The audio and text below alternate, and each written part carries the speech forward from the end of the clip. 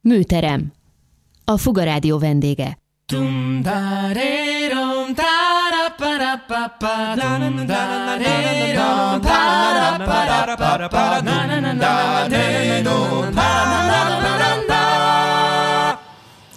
Jó napot kívánok, itt pedig Fongabi, és a közösségi kertépítésről fogunk beszélgetni, de hát reményeim szerint gerilla kertészkedésről, meg utcafront szépítésről, mindenféléről. Vendégeim Sziráki Barbara, az Ültess egy fát blog szerzője, Megyeri Szabolcs, kertészmérnök, a Kertészblog szerzője, és dr. Rosta Gábor főiskolai tanára, bocsát, nem doktor, igen, mert én így írtam föl magamnak, de már amikor találkoztunk, kijavított, hogy nem doktor, de azért talán nagy hibát nem követtem el. Szóval Rosta Gábor ő főiskolai tanára, Városi Kertek Közhasznú Egyesület elnöke. És elsőként Sziráki Barbarát kérdezném, aki mint mondtam, ugye az Ültess egy fát blog szerzője, és emellett közösségi kertépítő, kertészkedő. Jól, jól mondom? Hát igazából ez a kettő összefügg, egymásra épül a dolog. Mi a kertészkedést kezdtük el csinálni, és az volt az elképzelés, hogy ez legyen az egész projekt ledokumentálva és kereshetővé téve. Ez mit jelent? Én körülbelül 5-6 évvel ezelőtt költöztem Angyalföldre, egy kis, régi kis munkás lakótelepnek egy kis lakását vettem meg, és onnan indult az egész, hogy amikor a lakást vásároltam, akkor látszott, hogy, hogy ez egy nagyon kedves, parkos, szépen öregedő közeg volt, ami, ami nagyon csúnyán amortizálódik és csúszik széjjel. Mint oly sok. igen, hely. tehát igen. szociálisan csúszik lefelé, és ez, ez a környezeten is azonnal látszik és ez egy, ez egy hosszú folyamat. És az, az, azt gondolom, hogy, hogy rá teszi aztán a kézjegyét mindenre, tehát magával húz mindent, hogyha a környezet amortizálódik, akkor egy csomó minden itt mellette. sok minden hat Igen. egymásra folyamatosan, tehát amikor itt megvették a, a mostani lakóknak a szülei ezeket a lakásokat, akkor ez nekik egy nagy emelkedés volt szociálisan, Angyalföldnek ez a munkás közegében. Viszont nagyon sokan nem költöztek tovább, hanem itt öregedtek meg ezekben a picike lakásokban, sokan vannak, akik hosszú idő óta akár évtizedek óta munkanélküliek, sokan vannak egyedülálló kisnyugdíjasok, az egész közegen érződik ez a, ez a beálltság. És közben pedig van egy fluktuáció is. És akkor te úgy érezted, hogy ezen sürgősen változtatni kell? Hát én úgy éreztem, hogy kinéztem az ablakon, és, és amikor megvettem a lakást, akkor azt láttam, hogy ez egy nagyon kedves kis park, van homokozó, hinta, nem tudom. Amikor beköltöztem, akkor az látszott, hogy ez egyre kevésbé van, tehát már nem bicikliznek gyerekek, elbontották a pingpongasztalt, elbontották a hintát, mindenhol hömpölygeti a szemetet a szél, holott a, környéknek az adottságai, azok azok sokkal jobb, jobbra pozícionálnák be. Uh-huh. Ez volt egy nagyon rövid kis bemutatkozás, mert szeretném, hogyha mindenkit be tudnék egy pár mondat erejéig mutatni. Megyeri Szabolcs, aki ugye kertészmérnök, és én úgy tudtam, hogy közösségi kertépítő, de aztán ő elmondta nekem itt rögtön a a beszélgetés elején, ami még nem ment adásba, hogy utcafronti kertészkedéssel foglalkozik, azon kívül, hogy a kertész blogot is írja. Igen, hát tulajdonképpen... Mi a különbség a közösségi hát, kertépítés, meg utcafronti szépítget, bocsánat, tulaj... kertészkedés Igen, között? hát tulajdonképpen amikor emberek összejönnek és közösen kertészkednek, mondjuk egy társasháznak az udvarán, vagy mondjuk egy közösségi kertben, akkor azt mondjuk közösségi kertészkedésnek hívjuk, de hát ezek a fogalmak még nagyon gyerekcipőben járnak, tehát hogy igazából mi vagyunk azok, akik először beszélgetünk erről, és majd, hogyha egyszer 10-20-30 év múlva arról lesz szó, hogy ezek a fogalmak hogy kezdtek el kialakulni, akkor lehet, hogy majd ez a rádióbeszélgetés is egy fontos állomás lesz, hiszen nagyon pionírok vagyunk még itt Magyarországon. Ez, ez, ez egyrészt jó is, egyrészt rossz is, hiszen azért alapvetően már 20 év telt el a rendszerváltozás óta, és gyakorlatilag még most kezdjük a, ezeket a kis demokratikus kis ilyen alapegységeket létrehozni, hogy akkor mégis találjuk ki magunkat, és kezdjük magunkkal valamit a kertjeinkben is, a közterületeinken is. És hát én azt gondolom, az utcafront építés az ilyen szempontból egy kiváló közösségi ö, erő, egy nagyon jó ilyen összetartó hatást sok tudnak ott kiváltódni tulajdonképpen. Alapvetően azt vettem észre, hogy amikor én Nyugat-Németországban jártam, meg, meg Nyugat-Európában, akkor hát látszik, hogy ott akár ugye már csak a határán átmegyünk, hogy Ausztriában milyen fantasztikusak ugye az utcafrontok, és hát rögtön az első kérdés, hát sőt, amikor, volt... amikor átlépi az ember a határt, pár évvel ezelőtt pláne, de még mostanában is rögtön lehet érezni a különbséget. Azonnal szóval... lehet érezni, illetve hát ugye most már Magyarországon is ugye van egy ilyen klasszikus kelet-nyugat Magyarország ellentét, de azért vannak így városok is, tehát mondjuk mint Balatonfüred, vagy Szarvas, Debrecen, tehát mondhatunk ugye ilyen példákat, de hát most a negatív példákat direkt nem mondom, de ugye látszanak olyan városok, sőt Budapesten belül is vannak olyan kerületrészek, utcák, akár belvárosban, akár a külvárosban, amik viszont hát rendkívül elhanyagolt utcafrontképet mutatnak. És bennem ez fogalmazódott meg az, hogy mi lehet az alapvető különbség. Most a nyilvánvaló dolgokon túl, hogy a gazdaság és a pénz és az emberek hozzáállása, de hogy... Nyilván mindez így együtt. Igen. Minden, nyilván mindez így együtt, csak egy gyors történetet, hogy egy picit így a, a válasz felé menj, haladjunk közben, hogy akkor, amikor a 50-es, 60-as, 70-es években elkezdték a lakótelepeket megépíteni Budapesten, akkor nagyon sokan vidékről költöztek fel, és ezek az emberek hozták magukkal az ottani kertkultúrát, és a lakótelepi tereken, azokon a köztereken tulajdonképpen elkezdtek elkezdtek ilyen kis parcellákat kialakítani, és elkezdtek kertészkedni. És aztán jött a tanástól, tehát a magyar államtól valaki, aki elkezdte ezeket az embereket lebeszélni erről, hogy ez, ez, ez azért lakótelep, és ez azért köztelet, hogy itt ők most már a jövőben nem folytatnak termelő tevékenységet. Tehát ez, ami a vérükben van, és hozták magukról vidékről, ezt itt most már nem lehet csinálni, és gyakorlatilag a magyar állam e, ezt leszoktatta az embereket erről a dologról. Eltelt több évtized, láttuk, hogy a 80-as, 90-es években, de akár sajnos napjainkban is ezek a lakótelepek hogy néznek ki, hogy most csak ennél a nagyon pontos mindenki által jó vizionálható példánál maradjunk, és akkor most kellenek a Rosta Gáborok, meg most kellenek az olyan emberek, mint Barbara, aki azt mondja, hogy de hát kezdjünk magunkkal valamit. Igen. Jó, akkor most pont így végszóra, akkor szeretném kicsit bővebben Rosta Gábort is. Majdnem megint doktort mondtam, de ezért nem haragudhat rám. Szóval Rosta Gábort szeretném bemutatni, aki főiskolai tanár, és nagyon örülünk, hogy eljött és ideért, mert ugye nem volt biztos, aggódtunk, hogy nem tud eljönni, mert éppen előadást tartott. Szerveztünk a... egy előadást a Corvinus, Corvinus Egyetemen, Egyetemen ha jól lesz, tudom. Lesz és ebben a témában? Igen, igen, lesz egy uh, uniós projekt, uh, közösségi kert szervezőket fognak uh, képezni, és ott kértek fel előadni. Uh-huh. És miről, hogy mesélt, miket mesélt? Ön, ez még csak szeptemberben lesz most. Van, ja, azt hittem, hogy ez a mai napon zajlott. Nem, nem, kíváncsi lettem volna a hallgatók reakcióira is. Ez szeptemberben fog indulni ez a projekt, a tematikákat egyeztettük még ma. Akkor nem tudom, az előbb elhangzott egy kicsit valamennyire Megyeri Szabolcs felhívása keringőre, hogy és akkor ilyenkor kellenek nekünk a, a rosta Gáborok.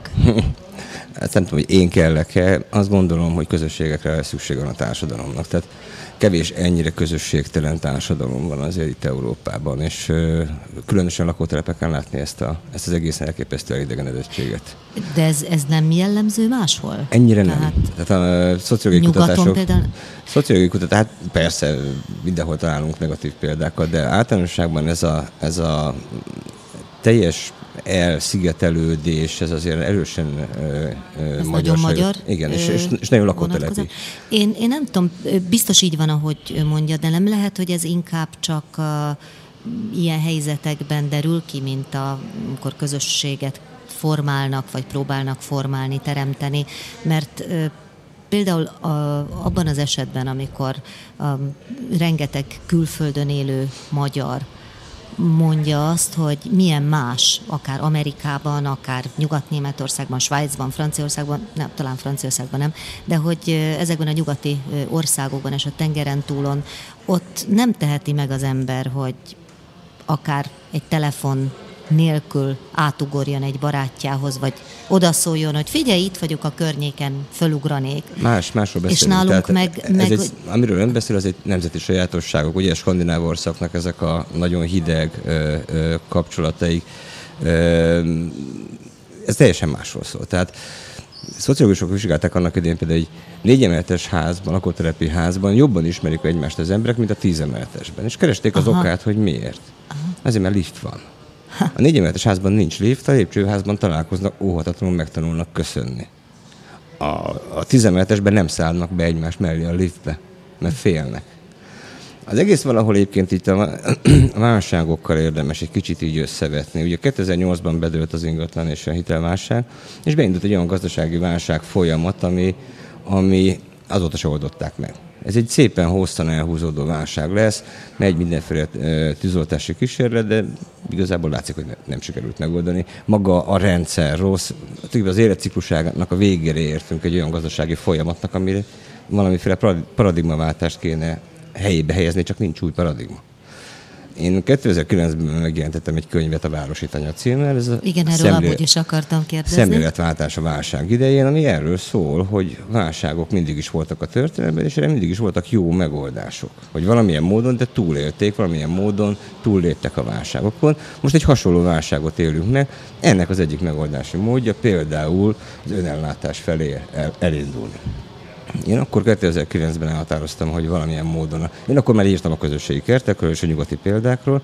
Ez nem az én találmányom, ennek Angliában azt hiszem 1908 óta van törvényi védelme. Ez a Small Holders and Allotment Act-nek hívják a törvényt. Angliában bárki bemegy a helyi önkormányzathoz, és azt mondja, hogy kérek földet önellátásra, akkor adni kell. Ez már egy 100, 105 éves törvény. Nálunk semmi. Sőt, még a vidéken is eltűnnek a háztáji kertek. Megszűnik. És akkor elindult egy folyamat, elkezdtem kilincselni önkormányzatok környékén, hogy csináljunk kerteket, és egy jó két-két és fél éves folyamat vége volt az, hogy tavaly megnyílt az első kert, idén megnyílt eddig. Ez volt ez az Arany Katica? Nem, ez volt az első kispesti kert, a 19. kerületben. És annak mi a neve? Mert én első az Arany kispesti Kati... kert, ja. ez a neve. 27 ágyás van benne, ez 27 családot jelent, és egyfajta pilotkísérletként kipróbáltuk azt, hogy hogyan működik az a fajta közösségépítés, ami, ami nem civil, hanem egy, egy nagyon végig gondolt, szabályok mentén, ö, ö, vég, egy teljes programot lefuttatni. Ezek, ezek a kertek drága kertek. Az önkormányzatoknak ez pénzbe kerül, ez, ezek nem kimegyünk, elültetünk 12 darab növényt, és akkor örülünk neki, hanem itt kerítést kell csinálni, vízrendszert kell kiépíteni, hát, például igen. a földet ki kell cserélni. Tehát teljes földcsere. A városi földön nem érdemes kísérletezni, bármi lehet benne. Sőt, azt, bocsánat, de muszáj, hogy Barbarát itt megszólítsam egy percre, mert láttam a neten azt a folyamatot, amikor a 13. kerületben, Angyalföldön, ha jól emlékszem, építettek egy közösségi kertet, amiben mindenki beszállt. És ott a én ezt láttam. Néz rám hol? csodálkozva az Barbara. vagy hol? E, igen, úgy emlékszem. Na mindegy, a végén szerepelt egy ilyen összesítés, hogy mi mennyibe került a termő Igen, ezt én igyekszem a... mindig átláthatóvá tenni, pont azért, mert hogy a környéken lakók azok folyamatosan betámadnak minket, hogy a közös képviselő zsebre teszi a pénzt, meg hasonló. Na akkor most a kis zeneszünet után megkérem majd Barbarát, hogy erről meséljen, hogy mi mennyi, és aztán majd visszatérünk Rosta Gáborhoz és Megyeri Szabolcshoz is. Építészet, kultúra, rádió. Ez a Fuga Rádió. Fugarádió.net Tum da re rom da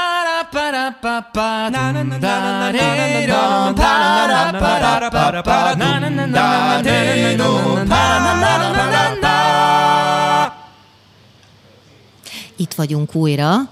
Témánk a kertépítés, kertszépítés, utcafront szépítés, közösségi kertek, milyen közösségformáló erejük van. Tényleg azt még az előbb szerettem volna Szabolcstól megkérdezni, hogy azon túl, hogy ilyen óriási közösségformáló ereje van a közösségi kertépítésnek, bár lehet, hogy e- erre Rosta Gábor jobban tud választ adni, hiszen Szabolcs elmondta, hogy ő inkább az utcafronti kertészkedésért vállalja a felelősséget. Tehát bármelyik, bármelyiküktől kérdezném, hogy e, a közösség teremtő erőn túl még mit tud adni, mit tud hozni, tehát mi a célja az ilyen közösségi kertészkedéseknek, illetve közösségi kertek létrehozásának?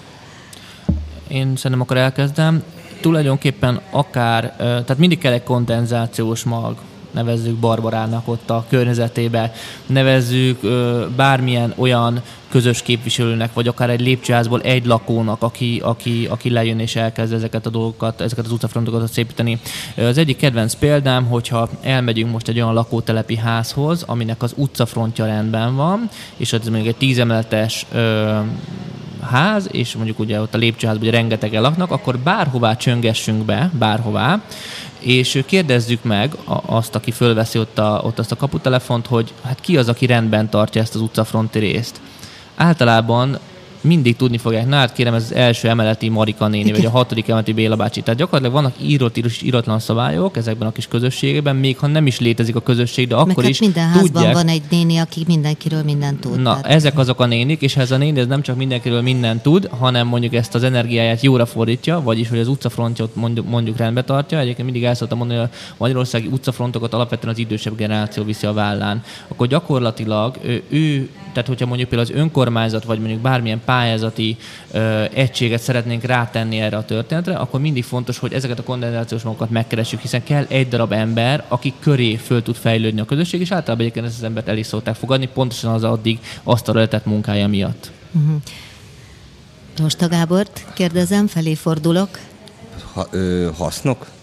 Renget, renget. Nem csak haszon, arra gondolok, hogy, hogy mit ad ez a, nem Igen. feltétlenül haszon, de mit ad ez az embereknek. És azok, akik, azok, akik csinálják, tehát akik építik ezeket a közösségi kerteket, akiknek ez szívügyük, mert hát látom, hogy szívügyük, miért csinálják? Igen. Tehát nyilván van valamilyen fontos Tegyünk célja. néhány fogalmat. Nem építik a kerteket, a kerteket általában szakemberek építik, ők művelik a kerteket, és nem csak a kerteket, hanem magukat is. Amiért fontos az az, hogy társaságba kerülnek. Azért fontos, hogy végre valami megint felelősséget éreznek, mert tévét nézni el lehet, csak közben elmegy az élet. Olyan, mint a kis herceg a rózsájáért? Pontosan, mint kis herceg a rózsájáért, felelős vagyok érte, ergo oda is figyelek rá. Ö, nagyon fontos a gyarapodás élménye, nem a spekuláció, nem a különböző ilyen praktikák, hanem ez az én paradicsomom, ezt növelem ezért felelős, ennek én örülök. Egyébként számszerűsíthető is. Tehát az tavalyi szezonban az első kispesti kertben csináltunk kertstatisztikát, mindenki a saját kis ö, ágyásáról a leszedett terményt mérte. És egy viszonylag kicsi kert, 1000 négyzetméter, a termőterület kb. az egyharmada, 412 kiló paradicsom jött le. Ezek hm. számszerűsíthető hasznok. Igen. Tehát gyakorlatilag a kertészeink... Ez óriási dolog, ö, hogy nem. Szezonban piacra nem zöldséggyümölcs, nem zöldséggel jártak, hanem saját termés, és ráadásul megvan az az öröm. ez egy jó érzés. Pontosan az az öröm élmény megvan, hogy én termeltem. Én, jobb ízű, uh-huh. én tudom, névről ismerem, stb. Uh-huh. Nagyon sok a gyerek a kertbe. Kifejezetten érdekes és fontos látni azt, amikor gyerekek meg végignézik azt, hogy a szülők megbeszélnek dolgokat.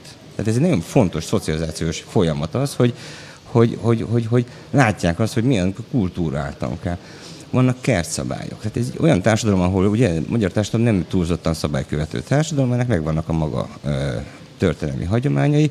Mi kertszabályok mentén működünk. A, a, az Egyesület viszonylag kevés szabályt köt ki, mit tudom én, kábítószert és mérgező növényt nem, nem ültetünk, meg egy-két dologra odafigyelünk, de egyébként a kert tagok maguk alakítják ki azt a házi rendet, ami mentén működik a kert. És nagyon egyszerű dolgokat lehet mondani, például nem dohányzunk a kertbe, nem iszunk alkoholt a kertbe, nem, dohány, nem politizálunk a kertbe, és nincs hangos beszéd a kertbe. Tehát nem üvöltünk egymással, nem engedjük meg, hogy bárki fölemelje a hangját. Szóval ez, ez egyfajta tiszteletet is ad, vagy, vagy megtanítja, ráneveli arra az embereket, hogy tiszteljék egymást, egymást és, a, és az egymásnak a, a terményeit a, is természetesen. Az élő lényeket, vagy a növényeket. Ez például a gyerekeknél nagyon látszik. A fiatal korosztálynak egyáltalán tökéletesen hiányzik az, az a fajta környezeti etikának hívják, ugye, hogy hogy nézzük meg a Magyarországi budapesti közparkokat. Rettenetes pénzeket költenek a fenntartásra, és úgy néz ki, mint egy csatatér. Szó, de nem elhanyagolt, ez nem elhanyagolt. Eszement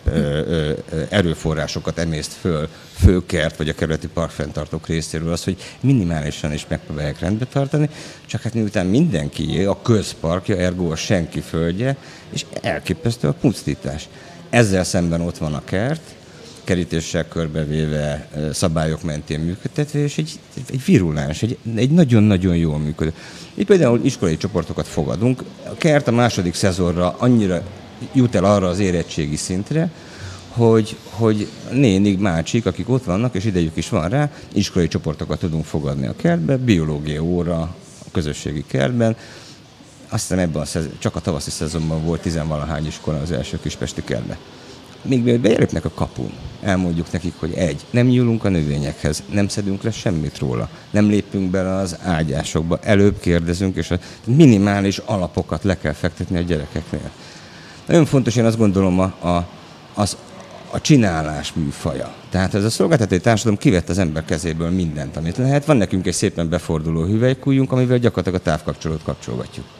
És végre valamit lehet csinálni. És ez egy fantasztikusan jó érzés. erő nyilván. Uh-huh. Nyugdíjas mérnök bácsi, akinek semmi dolga, egész életét végig melózta, és most ül a tévé előtt és megtervezi Kapott a kerti... feladatot. Megter, megtervezi a kertiben, mi készítünk mindent, a kerti bútoroktól kezdve, a közösségi teret, a tűzrakóhely, és hát nagy éjszakákon, napokon át tervezte az, a három darab asztalt, meg a hat darab padot, és boldog volt, hogy végre valamit, és utána leművezette azt a két hétvégét, amíg megépültek ezek a dolgok, és azóta is úgy néz rá, mint a saját gyerekeire. Barbarát kérdezem, ugye Barbara, te több kertet is megépítettél, legalábbis nem. Nyugodtan mondd, ha nem, mert látom, hogy csodálkozva nézel rá. Ez, ez egy terület tulajdonképpen, ez mint ahogy mondtam, ez egy, ez egy régi munkás lakótelep, négy szintes, magas tetős kis házakkal, egy viszonylag parkos elrendezésben, a Rákospatak mentén. És mekkora és ennek az a terület, egy nagy amit, környéke amit, van. amit kertesítettél? Többekkel Egy együtt? Ö, nagyobb területre pályáztunk az önkormányzatnál, néhány ezer négyzetméterre, és ennek kisebb részeire koncentrálunk általában egy-egy ültetés, vagy fejlesztés, vagy ilyen szervezett alkalom során. És a legutóbbi, amit beépítettetek, tehát az, az a most egy terület? nagy volt. Az, az egy két ház között van egy trafóház, és a trafóház körül egy olyan pár száz négyzetméteres ágyás, ami teljesen elhanyagolt volt, és ezt újítottuk fel. Én megpróbálnék akkor három fogalmat most egy, egy picit így megint bedobni, amit az elején mondtál. Jó, csak hogy a... azt ne felejtsük el, hogy a szünet előtt meg ott hagytuk abba, hogy ennek milyen költségei Jó, vannak, nagyon és hogy mire boml, bomlanak le ezek Persze. a költségek. Igen. Tehát, hogy, hogy a, a gerilla, a civil és a közösségi kert, én erre nagyjából van elképzelésem, hogy hogyan definiálnám, és hogyha gondoljátok, hogy máshogy, akkor, akkor mondjátok. Én a, a gerilla kertészetet érzem ennek az első tulajdonképpen ilyen belépőjének. Hát hiszen te magad is gerilla kertészként kezdted a Úgy kezdődött, hogy nekem volt kedvem ott ültetni két-három fát a kiszáradt fák helyett a környékre. És akkor ezt lehet addig csinálni, hogy, hogy akkor én rááldoztam mondjuk 20-25 ezer forintot egy szezon alatt, de az a kerete volt, én idáig tudok elmenni. Viszont amíg ezzel az ember elkezd foglalkozni, akkor kiderült, hogy tulajdonképpen érdemes lenne együttműködéseket keresni, és forrásokat is keresni. Mert amikor elültettük a fákat, akkor rögtön kiderült, hogy, hogy régen nem működik az önkormányzat által egykor kiépített öntözőhálózat. Tehát mi hiába ültetünk bármilyen növényt, itt nem lehet locsolni, semmi nem fog megmaradni. Akkor elkezdtünk egy együttműködést az önkormányzattal, és kiderült, hogy például itt lehetne ilyen zöld terület fenntartás együttműködésre pályázni.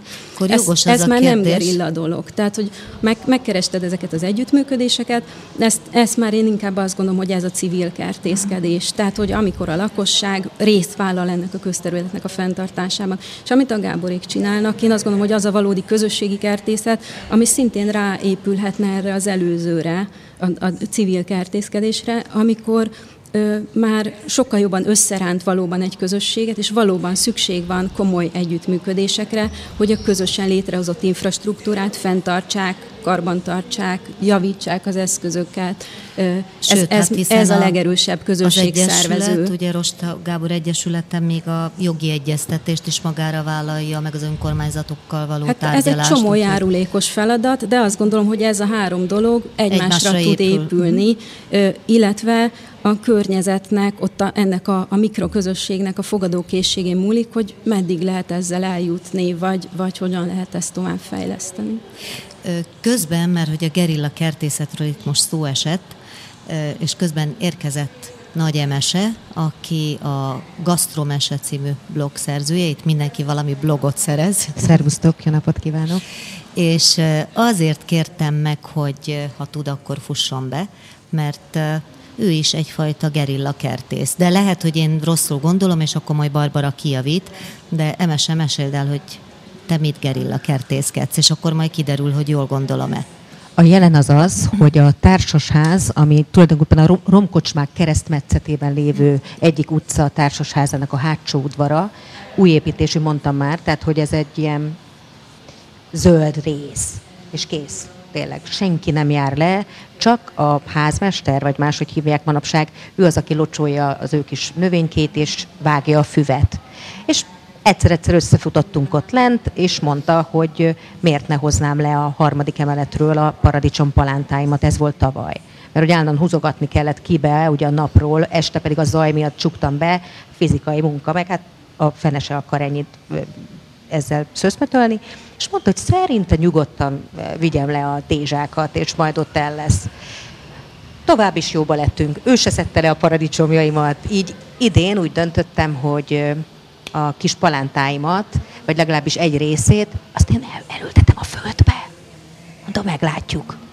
És akkor meglátjuk, így, hogy mit szól a lakóközösség. Mit szól nem? a lakóközösség, mit szólnak a szomszédház lakói, mert azok tehát olyan kis vékony kerítés van, hogy ők ezt látják, hogy nekem ott cseperednek a növényeim, hogy esetleg valaki mást is hoz-e magával ezt, tehát ő is rá, rákérdez, hogy figyelj ezt, hogy tudsz adni magot, mikor érdemes, tehát hogy beindulhatna ott egy élet, ne talántán még kifeküdnénk oda napozni is, vagy grillezni, tehát hogy egy életet hozzunk ebbe a nem túl nagy, vagy sok lakosú társasházba.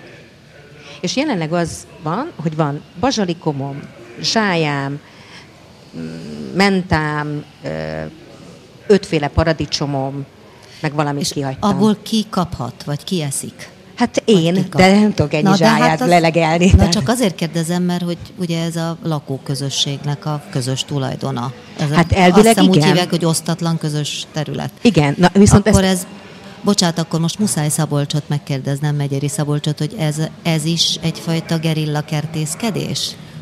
Vagy nem, mert nem közterületen. Reméltem, hogy Magyarországon nem nekem kellett Történik. tisztázni azt a kérdést, mit jelent ez a gerilla kertészkedés.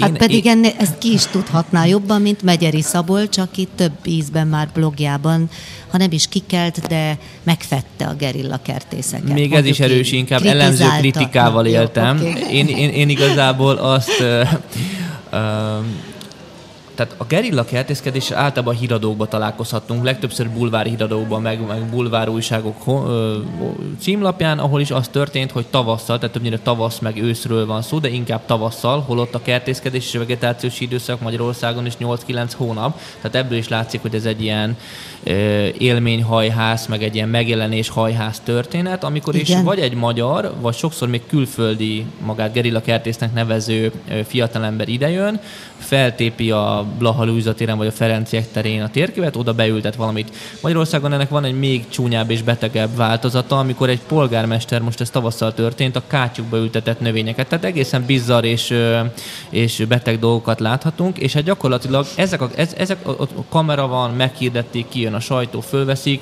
és hát mindig megkérdeztem, hogy mit, mit, mit üzennek ezzel, hogy csináljuk ezt? Más is csinálja ezt? Hogy most ez a performance. Hát de ez nem normális dolog szerintem, és az üzenete... A, a, és ez, de, de a más, tehát hogy nincs, nincs értelme lényegében. Uh, Bocsánat, értelme... de, de Barbara is így kezdte, illetve nem. te így kezdted. Tehát... Eszembe nem jutnak kátyukba ültetni hát nem kátyukba, de mondjuk sem közterületen. a tetejére tejfölös dobozban virágokat Igen, ültet. azok nem, nyilván ilyen extrém esetek, de, de te is ez, közterületeken. Ezek, ez, ezek tulajdonképpen művészeti tevékenységként fölfogható performanszok. Itt egy olyan mély kátyú van, hogy ebben már egy Ne, ne, ne, ne erodáljuk tovább, elég erodálva van a művész Szóval ez egy hülyeség. Egy Úgy látom, Rosta Gábor is kritikusan szemléli a gerilla kertészkedést. Nekem egy iparművész végzettségen a művész szót azt nem degradáljuk, ez sokkal komolyabb dolog. A gerilla kerteknél senki nem figyel oda, hogy fenntarthatóság, holnap után mi lesz vele, ki fogja, egyáltalán mi. Tehát ez a felhívjuk Ezt a figyelmet, ettől igen, szoktam hogy... agyvérzést kapni. Nem kell felhívni a figyelmet, lehetőséget kell adni, az emberek csinálhassák. A közösségi kertek, kerteket egyébként hogy ö, ki gondozza utána? Az a közösség, Igen. amelyik ö, ez épít? Az önkormányzatnak ez benne a, a, az üzlet. És ott nem történhet meg, mert ugye sokan a gerilla kertészek közül, közül is arra hivatkoznak, hogy ők beültetik és ellopják, elviszik, lerombolják, tehát tulajdonképpen az ő munkájukat tönkreteszik. De olyan olyan helyre teszik, és úgy teszik, hogy Aha. az meg önmagában kihalnának. Ha ezek a növények üvölteni tudnának, akkor biztos, hogy nem csinálnák. Hogy én nem akarok ide kerülni, azt meg egyáltalán. Tehát egy, szó szerint, tehát kátyukba ültetni, meg annak idején még a, a Margit hídnak a, a oszlopainak a, a tövébe ültettek, és akkor hú, ez mekkora kaland, egy baromság már elnézést. Szóval kettő, csak visszatérve a kérdésedre, szóval, hogy az önkormányzat megteremtő lehetőséget annak, hogy legyenek kerti, városi kertek, és utána a közösség fenntartja. És ez miért jó az önkormányzatnak? Mert a park fenntartás drágább, mint az építés. Uh-huh. Onnan, attól a pillanattól kezdve, amikor az önkormányzat átadta a kertet, onnantól neki ahol dolga nincs, és 20 évig tökéletesen működik. Úgyhogy semmi dolga nincsen vele. Egy nagyon intenzív vegetációs terület, millió hozadéka van az iskolai programottól kezdve nyugdíjas néniknek az elfoglaltságán át a millió dolgot lehet erre mondani. Ezt nyugaton után száz éves hagyománya van, kutatják, és elég sok mindent lehet erre már Tehát ez mindenkinek ráhúzni. praktikus. És praktikus. Uh-huh. Ja, Én Barbara akar valamit nagyon mondani, csak szavamat ne felejtsen, majd Szabolcs azért még hogy fejezze be. Igen. Számoljunk a, a gerilla kertészkedés, miután ezt így unblock lebaromságoztuk, én, én azt gondolom, hogy ez nem, nem egészen így van. Ezek valóban extrém példák, hogy a, a kátyú meg a Igen. tejfeles doboz a Viszont mi elindítottunk az egyik évben, tavaly vagy tavaly előtt egy olyat, hogy, hogy ültes tulipánt. És igazából a gerilla kertészkedésben szerintem a, a tágabb egyeztetés hiánya az, ami gerillává teszi, innen van a neve. És hát nem ez, összefogott, nincs... Ez egy magánakció, uh-huh. ez egy partizán akció egy városban. Attól még ez lehet egy átgondolt növényelültetés. Ez a tulipán projektünk, ez arról szólt, hogy, hogy válasz ki egy olyan helyet, ahol jól néznek ki, és utána gondot természetesen, tehát azt a tulipánt meg kell locsolni. És nem és, lopták ö, el? És nem lopták el, ö, sok kinyílt, csoda. sok kinyílt, Ugye kevés öntözéssel nem nő olyan hosszúra a tulipán szára, hogy ez egy nagyon látványos virág legyen, sokkal rövidebb szár, és azon növeszt egy kis virágfejet. De ez, ez csak arról szólt, hogy vedd észre, hogy a város elhanyagolt, és ez az érdé- és érzékenyítés, uh-huh. ez tényleg egy, egy nagyon fontos szempont szerintem ebben. Tehát, hogy bárhol vállalj felelősséget egy tenyérnyi kis helyért csak, és az, és egy, az legyen és ez a egy, tiéd, ne, nem, a, nem a nagymamának uh-huh. a kertje, vagy nem az előkert, hanem az egy közterület legyen. Uh, és ezek így jellé válnak. Bocsánat, de Szabolcs, muszáj, hogy, mert föltettem egy kérdést, és igazából soha nem tudjuk meg szerintem most már, hogy Nagy Emese gerilla kertésze vagy sem, legalább egy, egy, egy rövid választ szeretnék. Szabolcs és aztán visszadom Emesének a szót, aki biztos tiltakozik, azt de... Nem tudom, hogy Emese az gerilla kertésze, én csak azt tudom, hogy azok a gerilla kertészek, akik egy sajtótájékoztatóval kezdenek, és tényleg valami nem volt. Ilyen, ilyen nem normális helyre kezdenek előültetni, ezek tényleg ilyen öncélú performanszok, és én ennek semmi értelmét nem látom. A figyelemfelhívással csak annyiban vitatkoznék, ugyanakkor egy picit igazat is adok neki, hogy... hogy Mármint Barbarával. Hát igen, de hát most igen. itt van másfél-két millió ember Budapesten, ugyan kinek kéne még jobban fölhívni a figyelmét, mindenki tudja, hogy, hogy igen, zölden, meg szebb, meg jobbnak kellene lennie, tehát ez tény. Viszont mondjuk egy, az, amit mondjuk a Gábor csinál, mondjuk egy közösség kertbe, és akkor, amikor oda kimegy a tévé, akkor előtte ott már benne volt egy évnyi munka. Vasárnap, meg szombat délelőtt, meg, meg, meg hétfő este, közösségi lakógyűlés, meg este 11-kor még ott van lakókkal beszélgetve. Tehát a kettő között ennyi a különbség, és azt hiszem, hogy ezzel akkor ezt le is zártuk ezt a kérdést. De mondom, Ezek én... megférhetnek egymás mellett, én csak ennyit akartam jelezni. Tehát a, az élelmiszertermelés az alapvetően más dolog, mint egy olyan esztétikai gesztus, hogy én itt ezért a fél négyzetméterért felelősséget nem kötelező élelmiszer, élelmiszer termelni ezekbe a kertekbe. Tehát Lehet, van, aki virágok, virágokban utazik, van, aki meg paradicsomban. Ennyi. Mielőtt még MSZ-nek átadnánk a szót, csak annyi még, hogy utcafrontnál, ahol szintén nem annyira ö, ö, termelő tevékenység folyik, bár például azért... Mert az mindig... ugye Balázs asztala?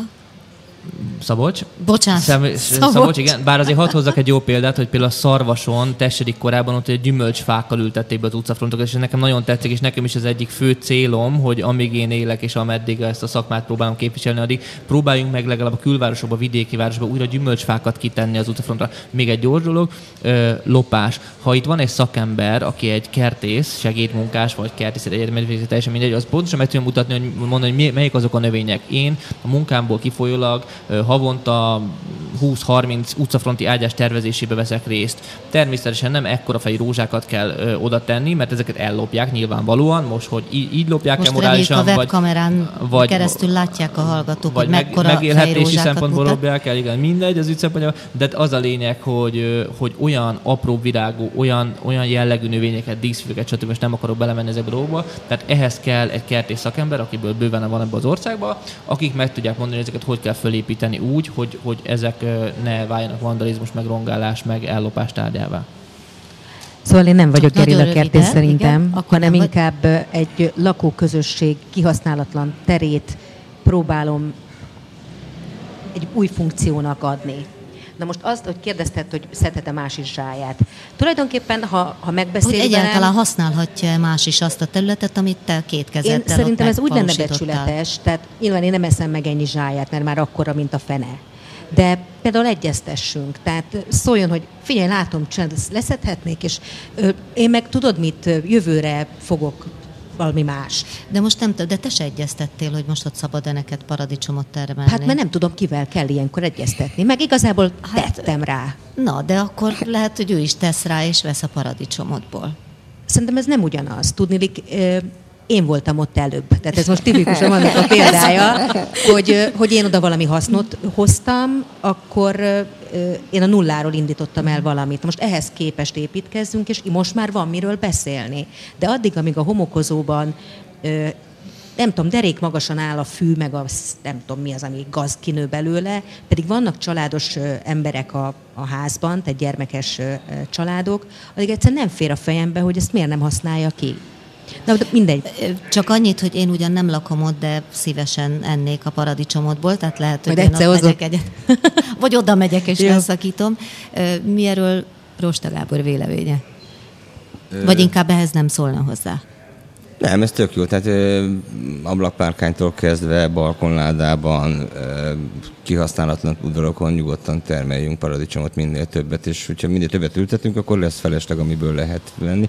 Nekem ez egy személyes példám az, hogy én 5-6 évvel ezelőtt ö, bérházban lakom, negyedik emelet szerencsére eléggé napos. Elkezdtem paradicsomot ültetni. Ott köszönnek egymásnak a lakók? Teljel közel, igen, és akkor ö, egy év múlva már gyakorlatilag fél ház paradicsomot termelt. és, és ez egy ragadós példa. Szóval, hogy, hogy az biztos, hogy azt én egy rossz, rossz, rossz néven venném, ha valaki lenyúl, lenyúlna a paradicsomot, mert, mert ez lopás. Tehát ez tartsuk tiszteletbe. Ha megkérdezi, hogy szabadna -e egyet, akkor azt mondom, hogy persze, természetesen. Szomszédban van két kiskölyök, akik versenyeztünk, hogy ki a finomabb, meg a nagyobb, meg a pirosabb, és akkor utána voltak nagy csereberék. De, de én nem ezt az utat választanám. Tehát én biztos, hogy nem, nem állnék neki társasházi kertben csinálni eh, kertet. Akkor most még egy Szabolcs szeretne valamit mondani. Nekem lenne egy kérdésem, amire... Csak én még, a, még az Aranykatica kertről feltétlenül szeretném, ha Rosta Gábor egy pár szót mesélne, vagy pár mondatot. Igen? Azért kapcsolnék ide, mert Gábor most azt mondta, hogy nem ebbe az irányba menne el. És ez nekem egy kérdésem. És ez főleg Gábor felé megy ez a kérdés, és ez inkább tényleg csak ide a következő évek gondolkozását. De nagyon jó, hogy itt van Barbar és SMS is, hiszen ők egy-egy ilyen társasházban vagy egy-egy ilyen mikrokörnyezetben kezdtek el kérdezkedni. Hogy azt mondjuk, hogy Nyugat-Európában, Észak-Amerikában Amerikában alakultak ki ezek a közösségkertek, ott ugye városok vannak, metropoliszok. Teljesen más a város szerkezet, tehát ott tényleg az van. Itt, itt azért mondjuk a nagykörút után már azért vannak lazább területek.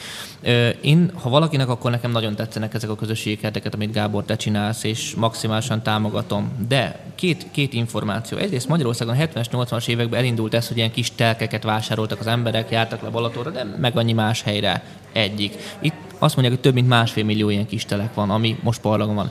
Több mint másfél millió ember él Magyarországon olyan társasházban, amiért ő drágább árat fizetett, mint egy panellakás vagy egy bérház, mert van kertje a társasháznak, nem kicsi, több száz négyzetméteres kertje vannak ezek a társasházaknak, parlagon ö, még sokszor ugye csak veszekednek, hogy a levelet seperő össze, meg a kertésznek még plusz hogyan fizessenek. Tehát van két óriási terület, amivel a legtöbb ember, tehát sok millió ember találkozik, és ehhez képest van valami, ami Nyugat-Európa Észak-Amerikában működik. Látjuk, hogy itt is működik, hiszen csinálnak a kispesti kertet, stb. stb. De kérdezem, hogy ez lehet, hogy csak egy ilyen templom, vagy ez most csak az első ilyen evangelizáció, és aztán ez később ez, ez elterjedhet ezekre a kiskertekre, tehát hogy újra kertészkedő Magyarország legyünk, vagy, vagy, vagy egyáltalán mit, mit látunk hiszek, ezekben a ezekben a potenciálokban. Annak idején egy ilyen három-négy évvel ezelőtt volt a gangcsoport, akik pontosan ilyen társasházi kerteket próbáltak megcsinálni. Elképesztő energia befektetéssel jutottak el, nem tudom, néhány kertig. Minden házban van egy-két ember, aki nem, semmit nem, ne legyen változás, és ha egy ember azt mondja, hogy nem, akkor nem lesz semmi. Szóval én éppen ezért csinálom azt, hogy önkormányzati telken, önkormányzati beruházásként, önkormányzati szerződéssel csinálom ezeket a kerteket, onnantól védett a történet. Csak ideig el kell jutni, és ez nagyon hosszú út. Na Igen. akkor itt el is érkeztünk, ugye Rosta Gábor második kertjéhez, az Arany Katicához, ami, hát én nagyon tetszett, rákerestem, és valaki még egy fecske farkú lepkét is lefotózott a kertben, miután megépült a kert, és aztán kiderült, hogy ez nem fecskefarkú, a védett kaszás. lepkefaj, hanem kaszás, de úgy néz ki, nagyon jó pofa, ilyen fekete-fehér, és úgy néz ki, mint egy denevér, ugye a, ilyen smokingja van hátul, ami ugye úgy lóg le hátul, de, de jó pofa, szép, szép rovar, szép lepke, hogy ez milyen fantasztikus, hogy tényleg ez, ez milyen örömet jelent az embereknek, hogy, hogy úristen, hát itt már megterem, ugye az előbb beszéltünk a paradicsom, a zsája, megjelent a nem tudom milyen lepke, hát ez, ez hihetetlen, hogy hogy fel tud fűteni embereket. Legalábbis én így gondolom, de mesélj el a tapasztalatot. Én tapasztalatom az, hogy hogy a Facebook az most, most kezd tele lenni, mindenki tartja éppen aktuális terményét, és fotózza magát, és teszi fel a Facebookra. Nagyon nagy élmény az, amikor a saját. Tehát nem az egeret tologatjuk, nem valami virtuális dolgot művelünk, mint munka, hanem, hanem itt, itt valódi gyarapodás élmény van. Az Aranykatica kert sok szempontból könnyebb volt már, mint tavaly. Meg volt a minta, végig volt tavaly, végigvittük azt a folyamatot, a, ami a közösségépítés, az, hogy, hogy a, kora tavaszra jutott a közösség arra, hogy új, új kertvezetőt választott, és én leválok a kertről most, mert mostantól ők önálló pályán állnak. Ugyanez a folyamat játszódik most le Békás megyeren.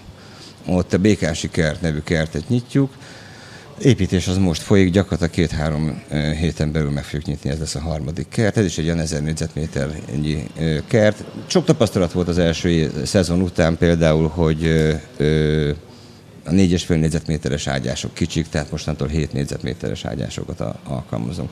A... Bocsánat, ezt teljes egészében az önkormányzatok állják ennek a finanszírozását? Nagy részt igen, emellett hát támogatókat, szponzorokat keresünk. Uh-huh. De és, igen, mindenképpen. És, és mondom, még, szóval nem csak a kert kivitelezését kell itt az önkormányzatnak finanszírozni, hanem például a közösségépítés is. Hát meg gondolom a vizet, amit aztán, vagy azt a vízművek adja? Nem. A vizet, a, például Kispesten a vizet az önkormányzat két évre állja, és utána majd a közösség fogja. Most úgy kalkulunk, hogy évi 2000 forint Azt per... beépítik a közös költségbe? Igen, uh-huh. igen. És az kb. ilyen évi 2000 forint per ágyásra jön ki. És akkor ilyen, Ö, ezeket a deszka, nem azt az tudom, kalickákat? Hát ezek ágyás Aha. kereteknek hívjuk, igen, ezt az önkormányzat. Bocsánat, az a szakszó, igen. igen. Vagy ők kivitelezik, vagy mi, mi keresünk kivitelezőket. Uh-huh. Uh-huh. És amilyet Barbara épít, vagy az is önkormányzati támogatással készül, vagy azt saját maguk, magatok ö, támogatjátok meg a saját zsebetekből? Nem, nem társasházi kert abban az értelemben, ahogy az előbb használtad, tehát ez nem egy körülkerített terület, a társasházaknak nincs ö, kert része, hanem ez sima közterület, a házak közötti térből áll össze, és viszonylag sok ilyen játszótér volt, uh-huh, meg uh-huh. hasonló. És, igen, mi ö, amikor elkezdtem ezt az ügyet hajtani, hogy újítsák fel az öntözőhálózatot, ami egy csomó pénz, akkor ennek kapcsán kibukott az is, hogy tulajdonképpen lehet is pályázni ilyen ö, lakossági zöld terület fenntartásra, és azt most már mi harmadik éve pályáztuk, és nagyon alacsony négyzetméter finanszírozás van, de mivel ez egy nagy terület, ezért mi kapunk rá mondjuk 200 ezer forintot vagy 300-at, és akkor ebből gazdálkodunk. És gondolom az Egyesület segítségét is lehet kérni, nem? A ez egy, váro... ez, ez egy társas Városi Kertek Közhasznú Egyesületének segítségét, nem? Hát még nem volt gondolom fölkar... Jó, csak gondolom ilyen ügyeket fölkarolnak, nem? Hát Vagy nem? szervezetileg még nem tartunk ott. Tehát azért itt nem csak érteket kell szervezni, hanem egy, egy céget kell erre csinálni, amelyik ezt működteti. Tehát, uh-huh. uh, Tehát ha én elmegyek oda, hogy én szeretnék ott a házam előtt valamilyen közösségi kertet kialakítani. Az nem a mi világunk akkor, akkor nem mondhatom, hogy kérem, hogy segítsenek kijárni az önkormányzatnál, meg jogi segítséget adni, meg Ez vagy túl valami Biztos, hogy nem. nem. Biztos, hogy nem. Én is most... Akkor én például mit csinálom? Ha én akarok egy közösségi kertet valahol, és mondjuk összefogunk ketten a barátnőmmel, hogy hú, mi akarunk paradicsomot, meg zsáját termelni, meg egyáltalán szép növényeket, meg fákat, akkor hova forduljunk? Ö, hát ez nehéz ügy. Én most igazából ö, szervezetileg mi ott tartunk, hogy inkább az önkormányzatok keresnek minket, és, hát az ugye jobb hát egy kicsivel pozíció, jobb. igen. Igen, igen. És, de, de, mert hogy egy kertnek a, szóval nem onnan megy a történet, hogy elültetjük a paradicsomot. Azelőtt van még két év, amíg azt meg kell szervezni, és az kőkemény. Tehát az egy, az egy... De ezt akkor mindenki maga szervezi, ha ezt nem, nem, nem, nem, nem. Szóval, hogyha ö, vannak kísérletek arra, hogy ö, ö, megkerestek már több ilyen szervezet, egy darabig segítettem, csak azt vettem észre, hogy ki is hagytak a történetből. Oppá. És akkor ők onnantól már villognak, hogy ők hogy már csináltak közösségi kertet. Az kellemes én, élmény igen, lehet. és akkor én, ilyenkor szoktam mostában azt mondani, hogy akkor én akkor inkább nem. köszönöm, nem. Uh-huh. Tehát, hogy én nem szívesen teszem bele úgy az energiát, az eddigi munkámat, a jogi szerződésektől kezdve mindent, úgy utána csak ki vagyok bele rúgva, és azt veszem észre, hogy, hogy hoppá, hát sehol nem vagyok a történetben. Aha. Akkor meg minek? Akkor meg minek? Uh, utolsó Egyébként még Szabolcstól egy hasznos jó tanács, ha valaki közösségi kerteket akar, vagy utcafrontot szépíteni, akkor mit csináljon, hogy, hogy kezdjen bele? Hát az utcafront szépítésnél ott igazából hasonlóan sok más területhez Magyarországon, mint a közösségi kertészkedésnél is, hogy a Gáboréknél is a nulláról kellett ugye ezt az egészet, sőt az, jól tudom, a jogi alapfogalmak is hiányoztak hozzá, hogy mi az a közösségi kert, meg az egyáltalán, hogy hogy, hogy tudjuk elhelyezni, akár jogilag, akár fogalom szempontjából. Az utcafrontnál is az emberek fejében van egy óriási ilyen káosz és ilyen kaotikus gondolatok, hogy akkor az most kihez tartozik, ő területén, magánterület, mit kezdhet vele. Én azt gondolom, hogy maguk a fák, ez most csak nagyon gyorsan összefoglalva, tehát a, ha van egy utcafronti ágyás, akkor ott a fák azok többnyire ugye a városüzemeltetés, a kellet, vagy a falunak, vagy a városnak a tulajdonát képezik. Hogyha ez, ez egy túl keskeny sáv, ahova a város nem telepít, akkor ők maguk elvégezhetik ott adott esetben a telepítést, de magát a fenntartást, ahogy a hóeltakarítás vagy a szemétfelszedést is a lakosnak kell elvégezni a porta tulajdonosnak. Ez jó hír és rossz hír is, de gyakorlatilag ez, ez, egy, ez egy sajátos jogi keret, tehát gyakorlatilag ezzel mindenki tud élni, és kötelesség is élni, tehát felelősség is, ugyanúgy, ahogy a, a havat érdemes ugye eltakarítani, hiszen ugye hát ez a kötelesség. Ugyanígy gyakorlatilag, na most nem mindegy, hogy, hogy, hogy az utcafronti részünk az hogy néz ki, és gyakorlatilag én azt látom, hogy ha egy lakóközösség összefog, vagy egy család összefog, akkor évente mondjuk egy órás tevékenység az, amivel az utcafrontot rendbe lehet tenni, és utána gyakorlatilag csak fönn kell tartani. Tehát én azt látom azért, nekem nagyon pozitív élményeim vannak azzal kapcsolatban, hogy, hogy legyen szó lakótelepről, új építésű társasházról, jobb módú emberekről, szerényebb körülmények között élő emberekről, hogyha ha, ha ha van egy kis levegő, ami a parázsba bele tud fújni, akkor ott azért, akkor ott azért, ott azért, az igen, ott azért uh-huh. van tűz, és akkor azért nagyon és szép kijárják saját maguknak? És akkor gyakorlatilag igen, most számtalan pályázat, akár állami, akár bankok, akár más szervek kiírnak ilyen pályázati lehetőséget, önkormányzatok, ezekkel kell. érdemes uh-huh. élni, és hát természetesen figyelni kell az ezzel kapcsolatos épülő, szépen épülő gyarapodó irodalmat az interneten is. Hát nagyon szépen köszönöm, nem tudom, Emese még csak egy kérdésre válaszolj, létszes, lesz neked közösségi kerted? Akarsz kialakítani közösségi kertet, akkor segítek? Hát mondjuk, hogyha ez most már úgy, tudom, hogy hogy Ha lakóközösségről van szó, akkor igen, szeretném, hogyha ez beindulna, de mondom akár a grillezés is, hogy ott élet, tehát használjuk igen, erről beszéltünk. élet legyen ott. Egyébként még egy dolog ez az utcafrontihoz, hogy egy borongos novemberi este, amikor méláztam kifele a, az ablakomon, akkor azt láttam, hogy előttem egy árkádos utcasor van, ahol ilyen sok föld darabka van, cigi van benne elnyomva, csikkek, és én minden nap ezt láttam. Nagyon meguntam, és eldöntöttem, hogy tavasszal én, hm, mit is, árvácskát? Hát, azt kiszedik. De, de én beleültetem. Majd minden nap fotózom, hogy mennyi tűnik el, mennyi nem, ez is tanulságos.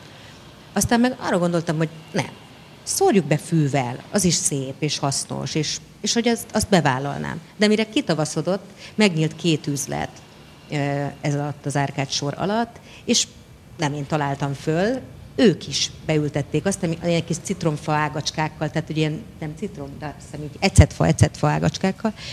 Szóval, hogy, hogyha élet költözik egy helyre, mert ott ugye üles üzletekről van szó, akkor, akkor ez a, a hólapátolás, hogy ez az, élni, ez elkezd igen. élni. Nagyon szépen köszönöm. Barbara akar még valamit, csak nagyon lejártám a műsoridőnk, Én csak és már igen. válaszolnék nagyon röviden, amit kérdeztél, hogy hogy hogy lehet nekiállni, hogyha te vagy bárki szeretne egy közösségkertet csinálni, ez nem csak abban a léptékben lehet, ahogy a Gáborék csinálják, hanem valóban, ha rá tudok szállni havonta két-három órát, akkor érdemes megkér, megnézni az önkormányzat honlapján egyszerűen csak, hogy milyen pályázati lehetőségek vannak. Igen, és lehet, hogy ez, a, ez az évi 10 vagy 20 ezer forint elindít egy ilyet, és lehet, hogy elég itt elkezdeni, és aztán valami lesz belőle. Jó, hát remélem, hogy akik hallgattak, azok közül sokan elgondolkodnak ezen, és lehet, hogy újabb közösségi parkok, terek épülnek. Köszönöm szépen vendégeinknek, hogy itt voltak. Viszontlátásra!